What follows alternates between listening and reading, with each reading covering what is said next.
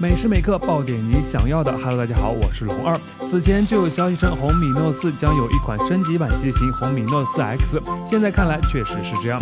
从网上曝光的真机谍照来看，红米 Note 4 X 在外观上将继续采用磨砂金属机身，但会取消后置指纹识别按钮，转而采用类似小米五的前置指纹识别。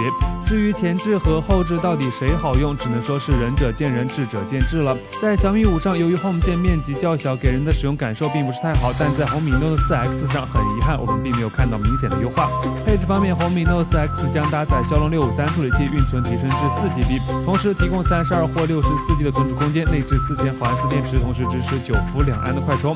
屏幕方面，红米 Note 4将采用五点五英寸幺零八零 P 显示屏，首批将使用饱受吐槽的天马屏。估计很多小伙伴看到这里又要表示呵呵了。